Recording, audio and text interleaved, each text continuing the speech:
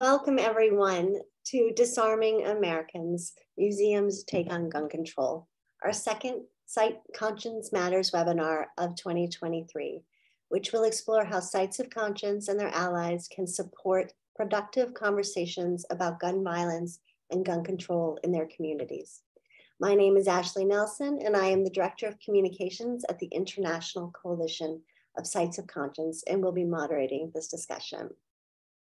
For those of you joining us for the first time, the International Coalition of Sites of Conscience, ICSC, or the Coalition for short, is the only global network of historic sites, museums, and memory initiatives that connect past struggles to today's movements for human rights and social justice. Founded in 1999, we now have over 350 members in 65 countries, from Ellis Island in New York City to former centers of detainment in Argentina, to sites that remember and learn from the transatlantic slave trade in West Africa. While our members focus on a range of subjects, what connects them is their belief that history should be used as a transformative tool for positive change.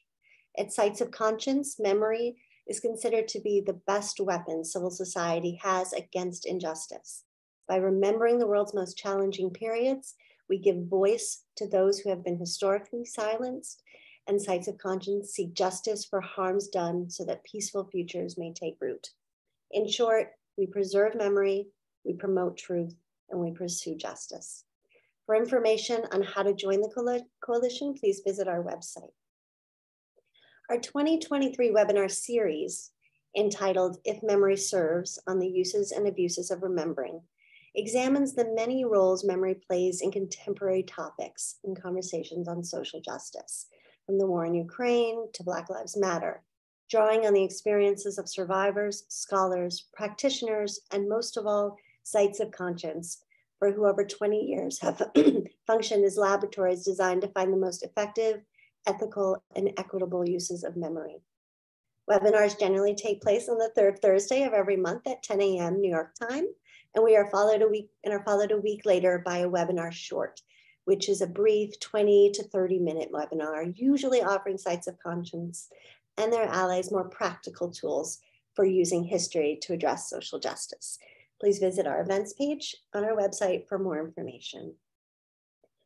Today, we are gathered together to consider and brainstorm the role sites of conscience and other cultural organizations can play in supporting productive conversations about what is frequently presented as an extremely polarized topic in America, gun violence and gun control.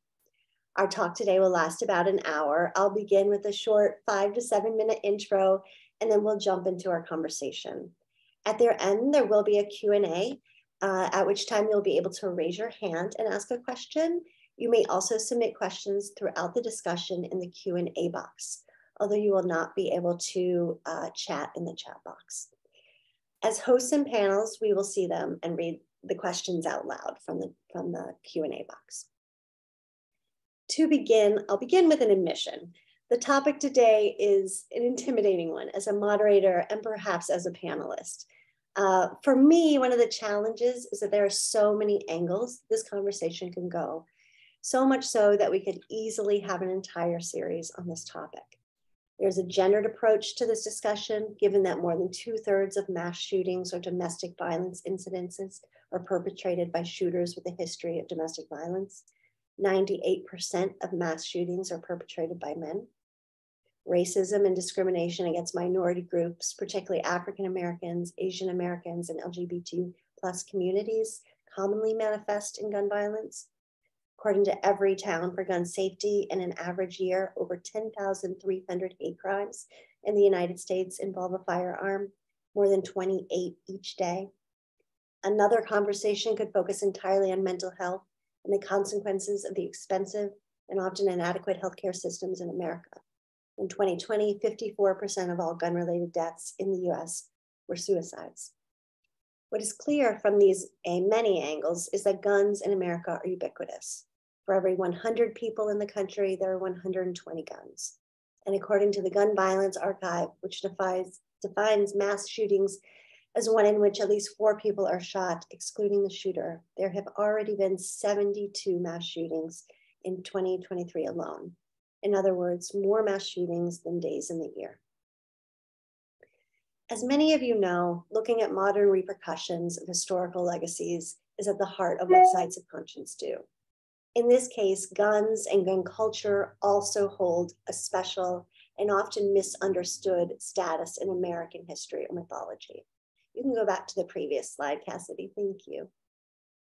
In the political realm, while gun supporters often reference the Second Amendment, the notion that individuals, via versus say a, a militia, um, have a right to use guns for self-defense is a relatively new reading of the Constitution, which in 2000, until 2008 was widely considered to only protect a collective right to use them. Similarly, while entertainment and advertising have long pushed a version of the Wild West that idealizes fire, firearms and outlaws, in reality, according to Robert Dykstra in his book, Quantifying the Wild West, the problematic statistics of frontier violence, gun deaths rates in frontier towns we identify with the Wild West were actually quite low, in large part because those towns imposed restrictions we think of today as gun control, unquote. In the early 20th century, gun manufacturers and later lobbyists made a dramatic shift in marketing guns to Americans who were increasingly living and working in cities. According to Pamela Haag, author of The Gunning of America, guns went from being advertised as agricultural tools to being marketed as central to American masculinity, essential for protecting family and property, and frequently with racist overtones.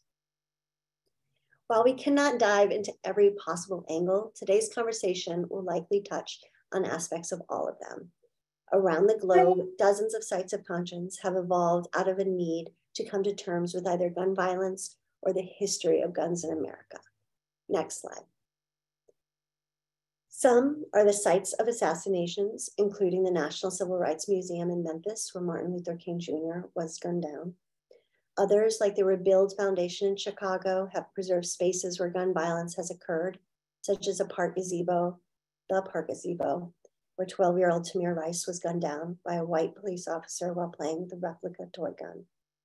Still others, including many National Park, National Park Service sites, who cater to politically diverse audiences have inherited vast collections of guns and don't always know how to effectively program around them without alienating huge swaths of their visitors on either quote side.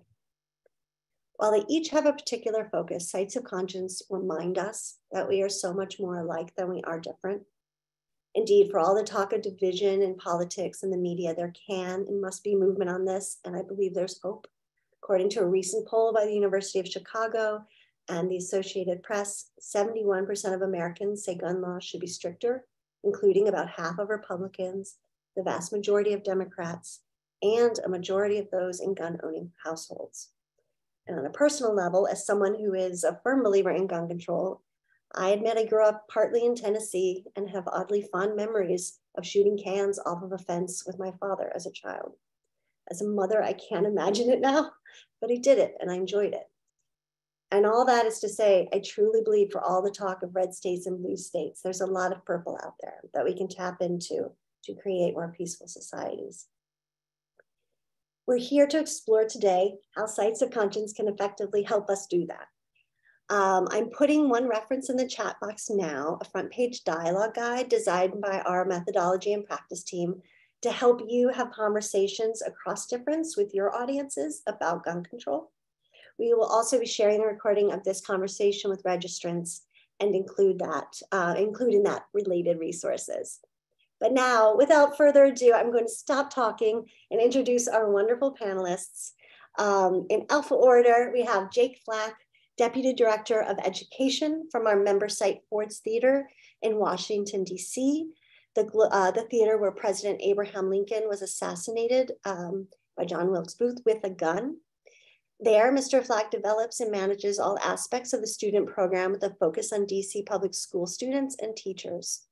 We'll hear today about how the museum has grappled over decades with how to present this history, including how to conduct programming around the subject of firearms, as well as its suggestions for how sites with guns in their collections can prompt conversation about reducing gun violence.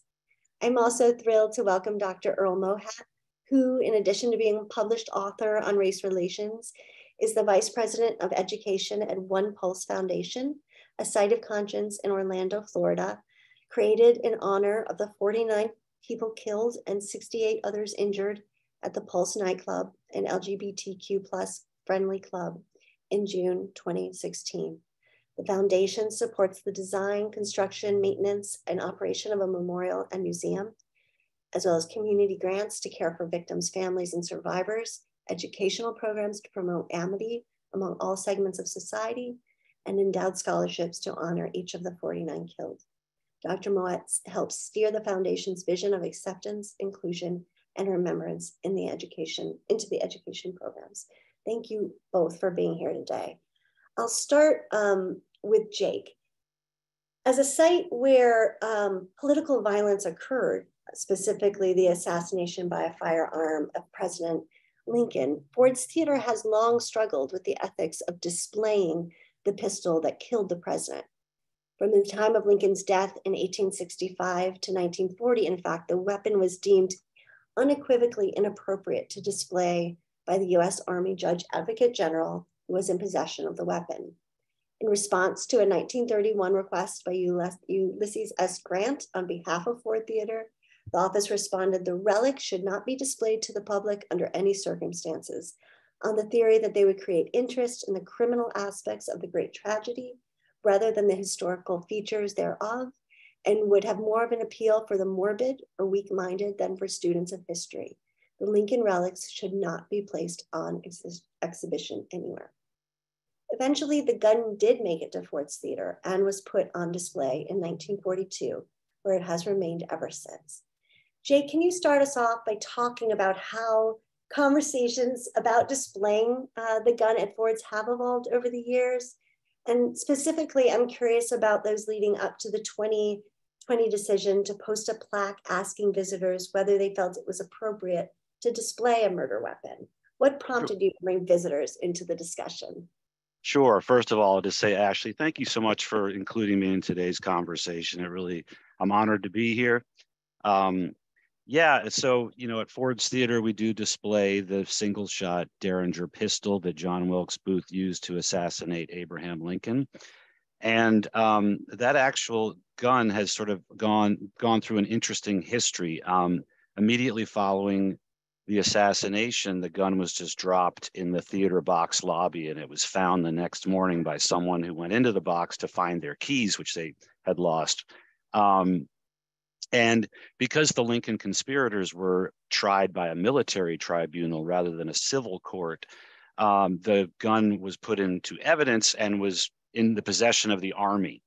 The uh, Judge Advocate General's office was prosecuting the military tribunal, and they they held on to the to the uh, to the Derringer um, ultimately until 1942 when the National Park Service took over Ford's Theater and all of the artifacts associated with it.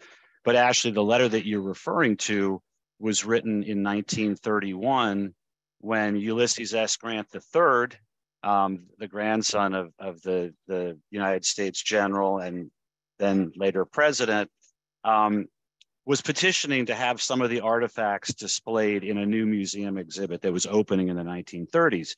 And the uh, judge advocate general said, absolutely not. You know, we found this letter in the archives that this, this, this general wrote. Um, and the reason was, as you said, was that um, the thinking was that by displaying this weapon, it might appeal to sort of, as he put it, the, the morbid, the people with morbid curiosity, and it might possibly influence dereliction or other sort of poor behavior um, and so the gun was not displayed. But in 1942, and once the Park Service had taken over the site, um, they did an exhibit in conjunction with a military tribunal that was happening during World War II, in which um, eight German saboteurs landed on the coast of Long Island and they were planning to blow up bridges and damage the infrastructure of the United States. They had this very public trial in Washington. And so you know, they sort of brought out the similarities between the tribunal of the, of the conspirators and then what was happening during World War II. Um, all that to say, you know, that's a long way of saying that since 1942, the gun has been on display. In 2018, Ford's Theater um, went into a process of redoing our interpretive plan for the entire site. So in partnership with the National Park Service and the Ford's Theater Society, um, we worked with um, the coalition to help develop this interpretive plan and we started to think about the the gun as we call it. And you know was it the display that we had was it too reverential? Were we putting too much emphasis on this single artifact? And what we we decided to do was ask our visitors what they thought. And so um, we sort of we rolled out some expanded interpretation we included some eyewitness accounts of people who were either in the theater that night or in Washington, which was greatly impacted by this tragedy. Um, and then, you know, sort of asked visitors, we put up a plaque, a sign next to the, the pistol, inviting um, people to weigh in on the question of whether or not should a weapon that was used in a murder be on display or not. And we got close to a thousand responses. And interestingly, 93% of the people said it's okay to display this um, weapon associated with the Lincoln assassination, whereas 7% said no. And of the 93%, about half said it's it's okay to display a weapon like this um, after all the immediate um, relatives of the victim have died, which I, I, found interesting, and I don't really exactly have a, a good interpretation of what that means, but I think that there is some sort of not defined set of time over a defined set of years, but it seems like the longer something's happened. Of course, we're talking about something that happened 158 years ago, might affect people's um, opinion on whether or not this should be displayed. So the gun is sort of had this long journey and in, in ways mirrored a lot of the things that the country was going through too. Thank you so much. And I might just follow up. Um, you know, I think one of the challenges um, at Sites of Conscience, we're constantly trying to sort of um, have have these difficult conversations. And guns today often spark very emotional responses from both sides of the political divide. Um, and like many of our members, I think you're a site of conscience that I imagine draws visitors who represent a range of political viewpoints. You know, there's some some sites of conscience where they're probably mostly progressive visitors, but many, many welcome welcome people from a, a diverse um, group. Um, can you talk about any strategies you may have for engaging audiences in productive conversations around divisive topics like this? Um, anything you would like to share for those many out there who may be struggling with how to how to manage um, you know visitors with different opinions? Sure. So um, you know we're a we're a nonpartisan site and we welcome everybody.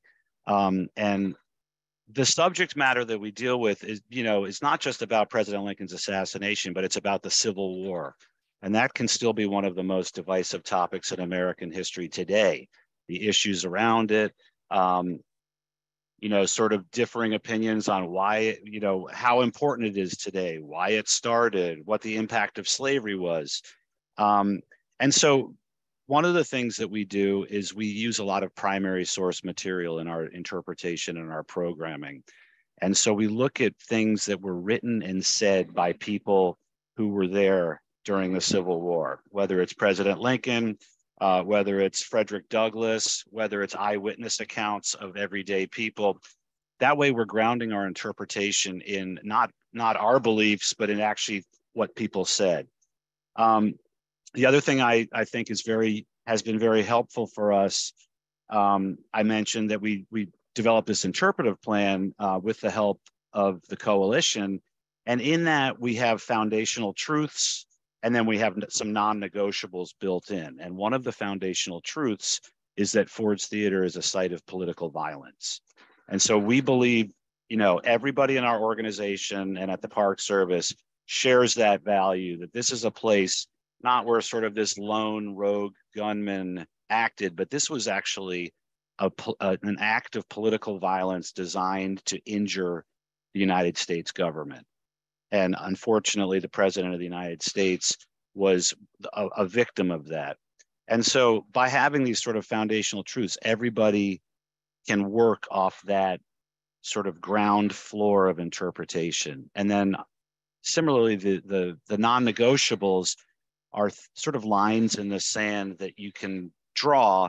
Um, you know, one of the one of the things that we believe is that the Civil War, the root cause of the Civil War was slavery. You can say it in one word, slavery.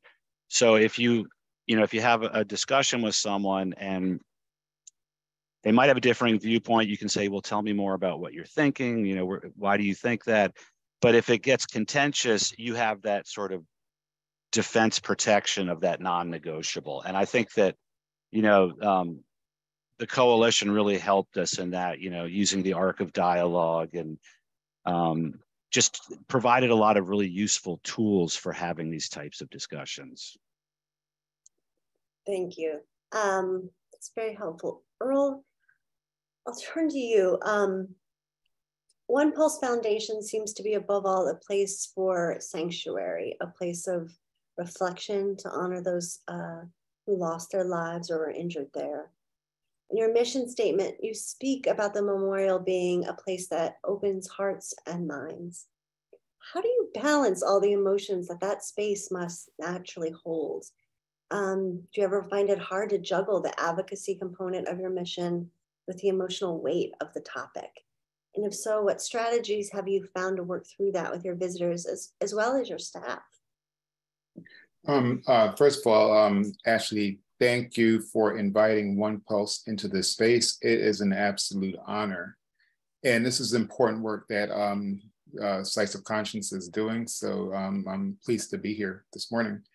So um, in that space, right, it, it really is hard, right? You know, we can, no matter how long you've been working there, involved in this work, immersed in it, each time you go to the site, the memorial, it really takes an emotional toll, right? Especially for people that are from Orlando and how it has impacted Orlando. And um, I know for for even when um, in our team meetings, oftentimes, you know, sometimes we got to cry about this stuff, right? To just get that catharsis, energy to keep moving forward. And that does help. Um, so you can't separate the emotional from the work that we're doing, but there's some things that drive us, right? That drives us, that drives me. And then you think about the 49 angels, right? And we pour our energies into honoring them I know with the education program, the education for me absolutely must capture, embody the spirit of the angels that we lost. So it has to be um, interesting, it has to be engaging, it has to be fun to an extent, right? It has to be all these things that embody our angels because it really is an, an honor to them. So that, you know, keeps us moving we also provide that space at the memorial for reflection. So when people come there, right, and it's an honest portrayal of, of what's happened. So people have that space to reflect their quiet spaces and um, you know that people can can just reflect on. But where we find strength also is it was a tragic incident, right? But it brought communities together, disparate communities, communities that never would engage. It brought them, everyone, to a point of shared humanity and understanding. And if there's ever a driver to move this mission forward, it is that. Because you know what that does? That inspires hope. And with hope, then we can get connected towards a goal, um, a goal of change, acceptance, inclusion, and remembrance. So um, I don't know if that answered everything, but um, if there's anything else, I'll be more than happy to share out. It absolutely, it, it was, it, it absolutely did. And thank you. And thank you for joining us. I think just to follow up, I think one of the challenges I imagine about productively talking about gun control is that the conversation can easily, as I suggested, cross into many other complex topics, um, including, as I said, the inadequate treatment of mental health in this country, and the infusion, the increased infusion of hate speech into everyday lives. Most of the people killed at Pulse were young, LGBTQ plus and Latinx. In recent years, we've seen other mass shootings clearly target similarly marginalized groups, including African Americans and Asian Americans. At One Pulse, is it ever tempting or more productive to separate the gun issue from the hate crime aspect of it? In your view, is it okay to do that? At, at museums and memorials, you know, do you have any strategies for effectively addressing how to address these intersecting uh, issues? Yes, I'm glad that you um, asked. And that is one thing we, um, we, we express a shared humanity, right? That brings everybody together. So the thing is, is that um, when we talk about um, gun control and other areas, those are polarizing things, right? So we understand that. We understand that. So we don't really, really try to take a position on that. And we're also nonpartisan, right? So you can't get too engaged in that.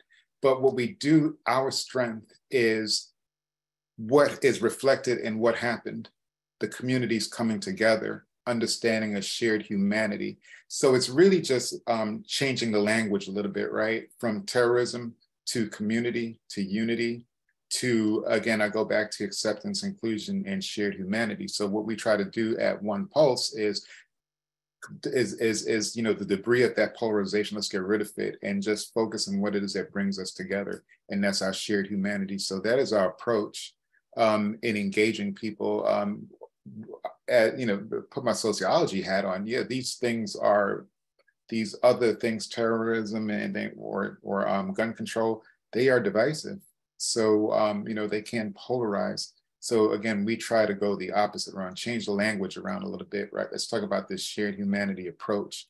And, but I do want to mention too that um, I think that one thing that we need to look at that we don't look at enough is um, a holistic approach to healthcare. So we tend to really focus healthcare in the United States as just physical health, right? But I think that if we make it holistic, and the World Health Organization has reported on this several times, we actually include mental health to make to normalize that, right? So we get as we get you know annual checkups, we get annual mental uh, checkups, and I think that can be a change um, agent, if you will, in how in preventing these harms occurring in, in the future. I think that's a really good point. In my research for this, I read the American Psychological Association has put out a study recently. I'll include it in the email of references um, that describe the just emotional and mental toll that these mass shootings take on everyone. Uh, that people have started to change their behavior, to fear, to feel fearful in spaces that were once considered safe, um, so I do think it's taken a toll. Another statistic I read was nearly 60% of Americans have been touched um, either personally or someone they've known has been touched by gun violence. So 60%. Um, it's, you know, it's certainly, I think, a mental health. Um, it's taking its toll. Um, Jake, I want to return to you and just, I, I really like this focus on survivors and shared humanity as a way to um, shift the narrative away from the polarization we see all, you know, so frequently in media and politics. Um, so whether filling in the gaps of histories decades old or working in countries where violence is quite fresh, sites of conscience are um, always committed to amplifying the voices of the unheard specific, specific, specifically marginalized and survivors. Um, this not only provides, um, you know, it provides a useful tool to engage, I think, broad audiences. So sharing the stories of survivors or witnesses to violence not only helps provide a more complete narrative, but can spark healing in the community by engendering empathy and understanding. And in my research, I see that one of your programming prompts has children um, and perhaps older audiences too, enter the story of Lincoln's assassination through the firsthand account of a witness named Julia Shepard. Um, you spoke a little bit about this, but perhaps you can talk about why this is such a powerful entry point for discussing these topics. Sure. Um, well, we really decided that that witness accounts, whether or not it was a witness who was in the theater that night during the assassination or someone who was in Washington, would provide such rich, valuable context for what was happening and also to illustrate the impact that this gun did have. And the letter that you refer are referring to, uh, the Julia Shepard letter, um, again, these are primary source documents. So this was written four days after the, the assassination it really captures the mood. It's a letter that she's writing to her father describing what what the city's like since the assassination. And it really captures this mood in Washington um, that went from one of complete joy when President Lincoln walks into the theater. Um, Robert E. Lee had surrendered his his army um, four days late earlier, five days earlier, and there was this just sense of sheer joy and celebration throughout the nation's capital. Everyone was so relieved that the war was coming to an end, that this endless death and killing was stopping, um, that the danger to the government was over. And so Lincoln comes to the theater to be part of this sort of shared sense of, of celebration. And then that that small little pistol that's used to assassinate him completely reverses that collective mood to one of despair and grief and anger and uncertainty. And so this eyewitness account really captures that because she's talking about the celebrations that are going on. And then in the next paragraph, she's talking about the black mourning cloth that's draped from the windows of all the buildings in the city, showing that the city and, and by extension, a lot of the country is in mourning. Um, so again, it's it's it's really important to ground what we're doing in these primary source primary sources. Another one that we have um, is actually a diary that John Wilkes Booth himself carried during his escape. It's in our museum, and uh, Booth was on the run for 12 days before he was shot and killed by um, United States cavalry officers when he was in a barn in Virginia. But his plan was to travel through southern Maryland and into Virginia. And he was hoping that when he made it into Virginia, which of course was one of the primary Confederate states, if not the most important one, um, having the capital in Richmond, he thought he'd be welcomed as a hero. And during his 12 day escape, the, the young man who was traveling with him, they would travel at night and then in the daytime hide out in woods and barns and things like that. This accomplice gets a couple of newspapers and he brings them back to Booth, and Booth reads the reactions of what he did. And this is in Maryland too. Uh, remember, Maryland is a border state that had the system of slavery. It did not join the Confederacy, but it was definitely heavily pro Confederate sympathies because obviously, you know, it's a slaveholding state. Maryland newspapers are saying, oh my gosh, what Booth did is terrible. It was, it's going to set the set the uh, sort of the, the process of reconstruction back farther. Lincoln had already said in his final couple of speeches that the tone that he was going to take was one of reconciliation and healing. He said, "We're going to bind up the nation's wounds," and sort of as Earl referred to this this collective sense of of you know people joining together to make things better. That was Lincoln's stance, and you know when booth does this it sort of sets all of that back. And and he he died knowing this that this was the reaction that people didn't think he was heroic but you know sort of the opposite of that. So again by providing all of this context it removes sort of the um, the focus on the actual object which is the the actual pistol that booth used but brings in a lot more context on sort of the devastation that that small little gun um, really implemented. I think that's such an important point. And no matter we, you know, we have sites of conscience all over the world, and restoring the collective trauma. I mean, I mean, addressing the collective trauma um, can take decades, you know, but it's really vital to sustain um, and sort of found a more peaceful, just systems. Earl, I was similarly really moved by one of your initiatives at One Pulse, uh, which is to offer scholarships in honor of each victim in both their name, but also explicitly awards that are designed for their specific vocations, hobbies, or life aspirations. Um, emphasizing the humanity. And I'm curious if you work with families of victims as well, because that can be a very um, powerful, powerful way to work, uh, we have found. For other sites of conscience who may be considering or contemplating programs to keep the memory of those lost um, to mass shootings uh, alive in meaningful ways, can you talk about the initiative um, and what it means to you? Yeah, um, I, yeah, and and I can. I love to talk. Boy, if you want to see it bring a smile on my face, let me talk about the scholarship program, right? Um, but I, I, will start before I even get into that.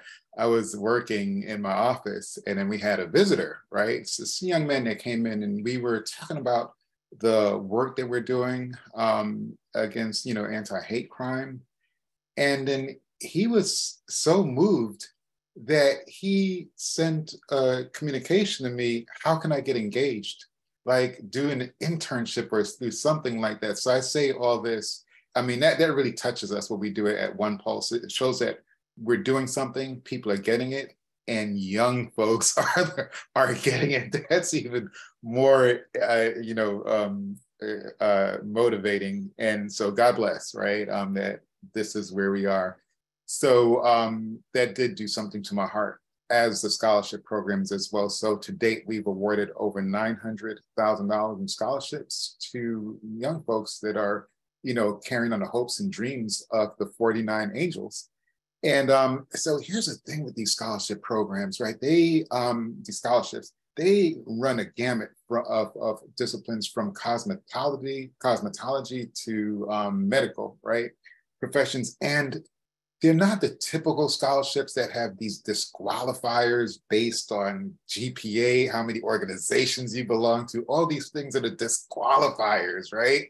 No, they look at the holistic person, um, student, and they look at how they connect to our 49 angels. And when you listen to their stories, oh my gosh, and then what they're doing with these scholarships in advancing inclusion and acceptance, it is um, it's just amazing. I tear up when I hear them say the work that they are continuing through their academics and how it's uplifting other lives and also honoring the lives of the 49 angels. So we do have a mechanism where the angels, their families are encouraged to apply, and we have had um, their family members apply and, and be awarded scholarships. So it's just a beautiful way to honor the, the 49 lives and do some social good, right? And, and just, I don't know, I, I can't speak uh, enough of how happy the foundation is in establishing that program. That that is wonderful. Um, I'll, I'll just follow up. Um, let me see here. Um, there's so many places I could go. Let's see. Um, Jake, I'm going to say um, I know for a fact that Ford's Theater is hardly the only historic site or museum to have to deal with divisive objects that represent to some maybe sense of freedom and self-protection and to others a great deal of pain. Um, across America, there are Revolutionary War sites, Civil War sites, and many others that have somehow or other inherited a musket or many muskets along the way. And I know through the grapevine of cultural heritage they often really struggle to present such artifacts in a way that supports their ideals, their beliefs in justice and human rights. Do you have any advice, and you touched on some of it, uh, for how sites can start thinking about this, either internally as a staff um, or you know, as a, as a member of their community? Well, I think, you know, a couple of things that I have mentioned is it's been really useful and helpful for us to be um, a member of the coalition and to tap into the resources and tools that you all have um, for facilitating dialogue. I mentioned the arc of dialogue, um, just helping with our interpretive plan. Uh, and also, you know, I also referenced asking our visitors what they think. And I can't speak for other sites, but for us, it has worked to you know just ask them what they think about displaying the gun that was used to kill Abraham Lincoln and I and you know overwhelmingly people said yes as sort of a historical artifact um, but I think the real the real focus should not be on the the object, but but, but the impact that it had. So if we're able to use that as a starting point to foster dialogue about the impact of this violence and what it meant, um, not just for President Lincoln, but for our country, for our government. And so, you know, when we're working with students, we we sort of we have a discussion about, you know, do you think John Wilkes Booth was successful or not? And well, yes, he did murder Abraham Lincoln, his larger plan to topple the American government or cripple it badly enough to allow the Confederates to reorganize and continue the fight and you know ultimately win the Civil War and keep slavery going did not happen. And so um, you know by sort of providing that context and encouraging those dialogues, I think it takes the emphasis off the object and sort of more places it more on the impact and things that we've learned since then. It's a really good, great point. Um, I have one more question before we'll take some questions from the audience as we have the audience. We have a few.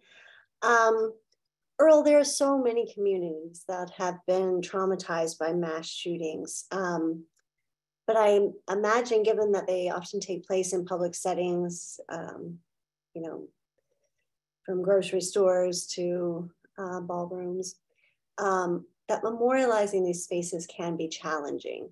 Uh, what sort of concrete recommendations do you have for communities looking to create memorials or spaces of reflections for victims and survivors of mass shootings, even if they are just small first steps? How did, um, is, maybe you can even just describe what the memorial at Pulse, you know, looks like and, and feels like in that space. Yes, well, we, um, the building, the memorial the nightclub itself is maintained and it does serve as the memorial. It's an interim memorial, right? So we're still um, working on developing it. But honestly, you know what? Okay, so there are two things, right? The first is um, it's a huge undertaking. Do not feel if the, if say this happens in your space, right? Do not feel like you're alone. Reach out to other communities that have been impacted. Reach out to One Pulse Foundation, our um, president, all right, is more than happy to help share her story. I'm talking Barbara Poma. Reach out to Oklahoma City, um, 9/11, because they have blueprints, right, and they can tell you what the struggles, areas, you know, points of concern, how to create this wonderful space that um, you know a lot of people are looking to do. So it's a huge undertaking, but you're not in it alone. And um, just reach out to communities that have been impacted. That's the best um, uh, thing, uh, first step, because I could imagine if something like this happens in your space, it's like, you know, you, like, what do we do, right? But there are resources and your best resources, people that have been impacted.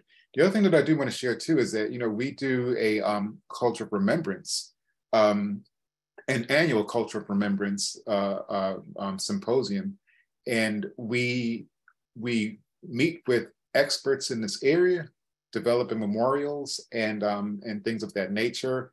And we coalesce and we talk about how do we make these things happen, right? How do we memorialize things that have happened? How do we develop them? And um, you know, uh, just have conversations around that. And I'm so grateful for Sites of Conscience because Sites of Conscience really helped us recruit um, uh, individuals I mean, presenters for this. So I'm going to be reaching out again soon. This conference, I mean, symposium is going to be September 28th and 29th, and I'll share that with you.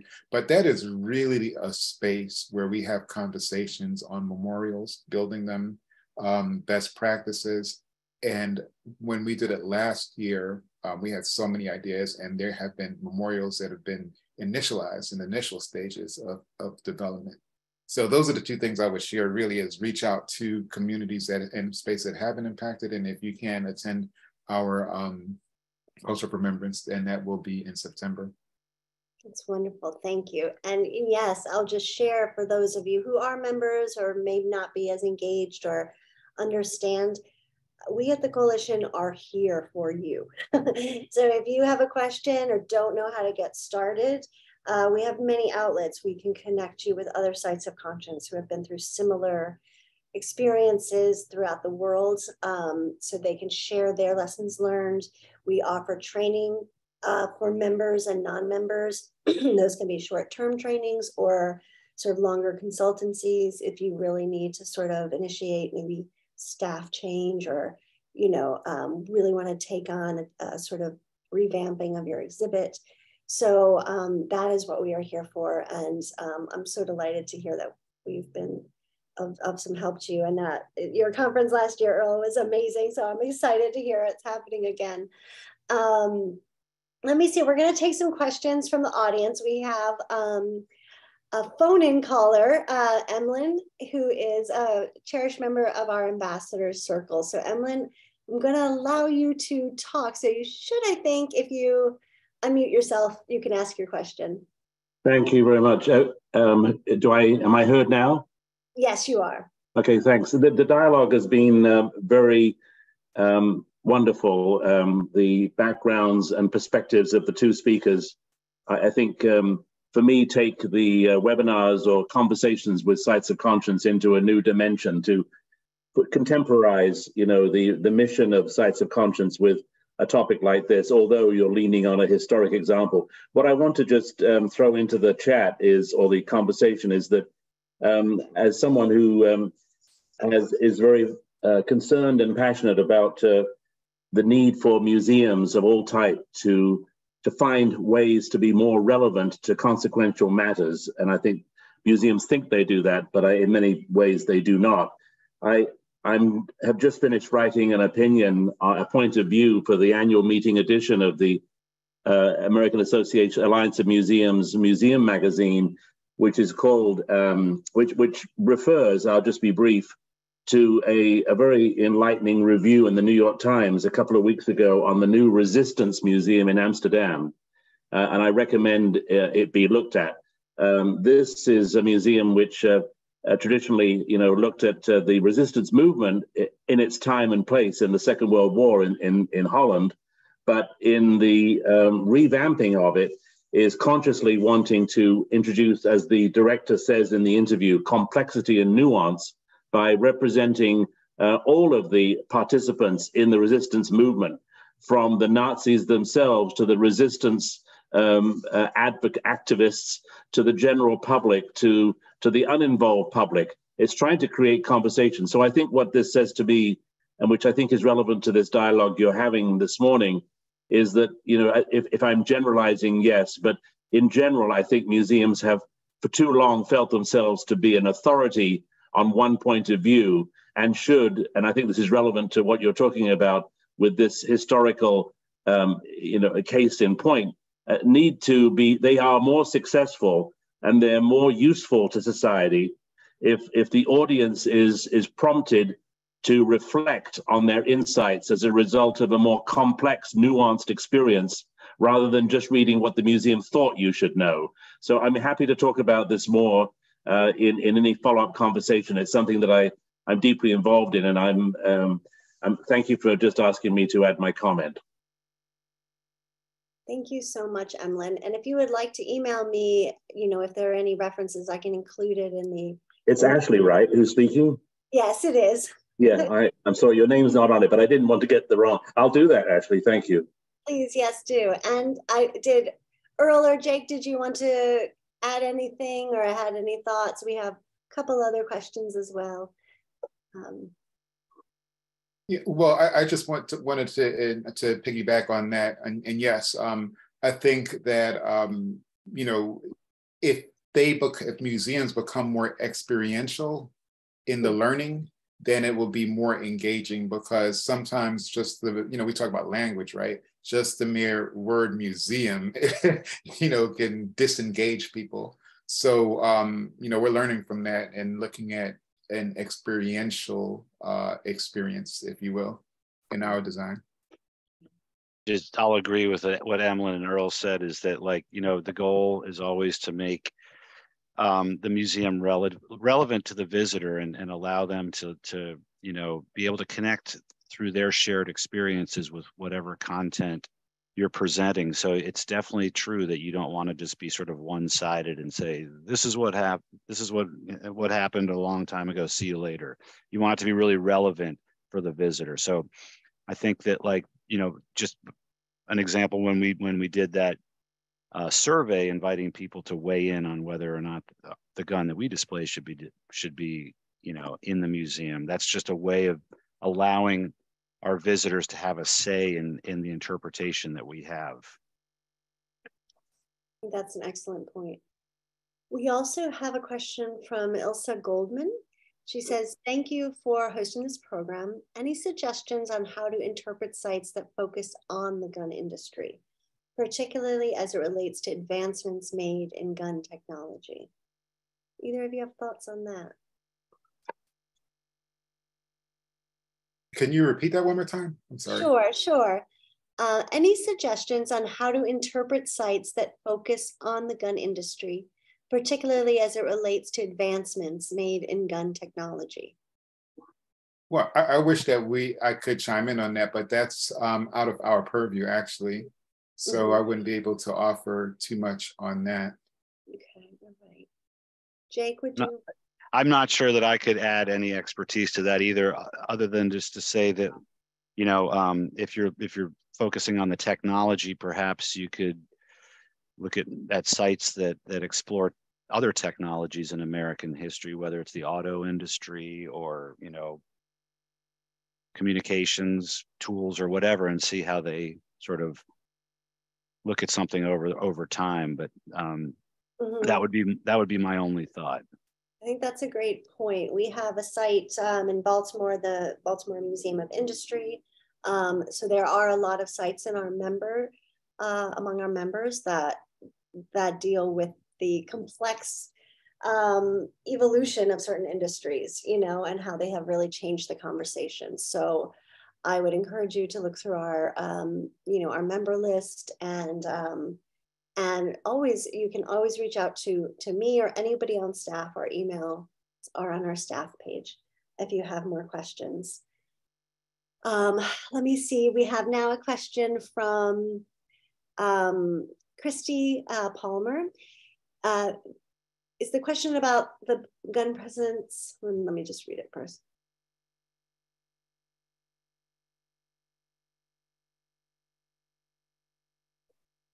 Um, this is a question mostly for Earl, I think, um, about um, how you collect information um, sort of regularly and how to make sure that any surveys or input you um, you ask of your audiences and your visitors, how to sort of keep that going. So are your surveys and outreach ongoing?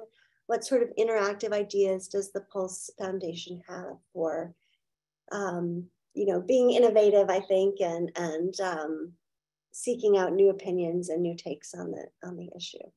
Yeah, um, uh, it's a great question. Thanks for asking. Well, um, with the education programs, of course, we always do um, surveys after each program to see how well the program is, how it's being received, and if there's um, change in, in understanding the problem. And happy to say that we always really score high on those um, measurements in terms of um, reaching out to um, uh, collecting survey in general, yeah, we have a firm that does that and they manage that. We're constantly uh, testing the waters to see what people's perception of of Pulse. And we talk about stakeholders.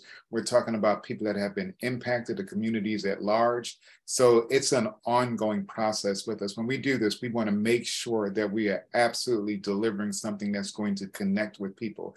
And the only way that we can really do that is to have these ongoing surveys. And really, they are stratified, but everybody's included in that.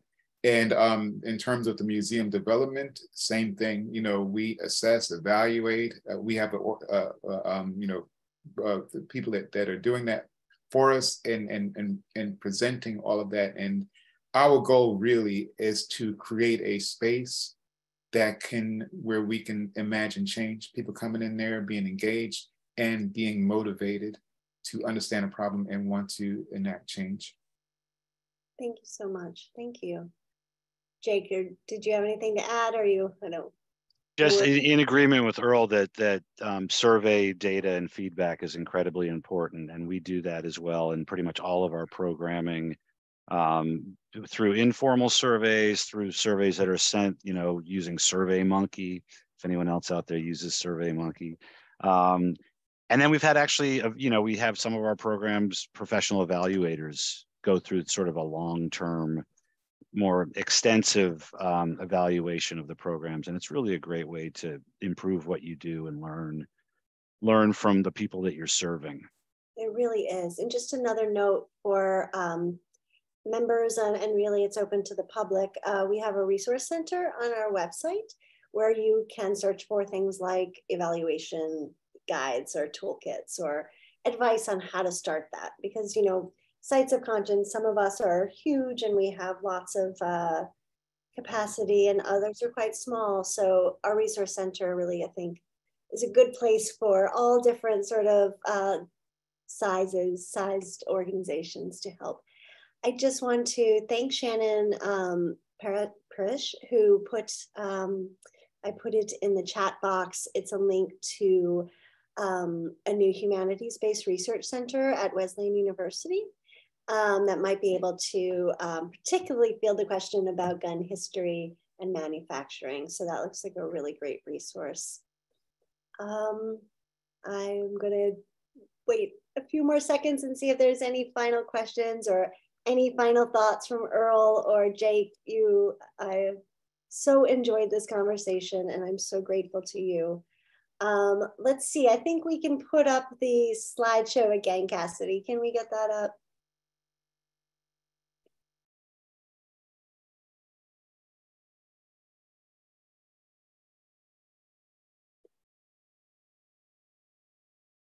All right, so I just want to thank you again, and I wanted to alert you to some upcoming events um, that we have. Our next three webinars include a conversation next Thursday at 11 with the new um, executive director of the forthcoming American LGBTQ plus museum.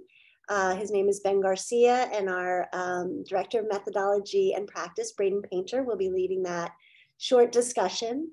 Um, uh, and then we will have another Conscience Member Matters webinar on March 16th that will look at how to memorialize um, public sites of police violence against African Americans. Um, and then that will be followed up by a webinar short the following week on reparations. Uh, it will focus mostly on um, what we can learn from global context um, about reparations that might help us in America. Um, I would also love uh, if I'm going to initiate a poll, this is something new we do. It is completely anonymous. Um, I would, we would appreciate if you would fill it out. It really helps us. Um, I'm putting it up there now. Feel free to um, answer it. It really helps us in future programming and to know what we're doing right and what we could do better. So um, it's up now. If I'll, I'll, leave it up for a few minutes, um, and as you as you exit, uh, it would be so great if you could um, if you could fill that out. Um, I hope it's working because usually, oh, there it goes. Okay, phew. so we'll leave that up. But um, as everyone disperses, I will just thank uh, our wonderful guests again, Earl and Jake. It was so lovely to have you. Uh, thank you to all our attendees. I'm very grateful. Um, I'll leave it open just a little longer for those finishing the poll, but thank you so much for being here. And uh, we hope to hear from you soon.